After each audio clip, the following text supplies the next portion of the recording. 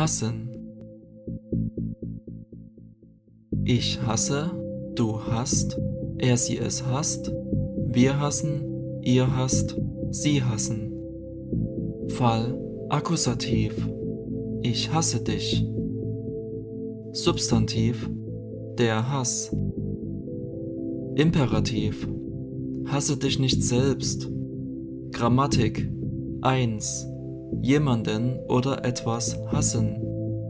2. Etwas an jemandem oder etwas hassen. Er hasst die Leute aus diesem Viertel. Sie hasst es, morgens früh aufzustehen.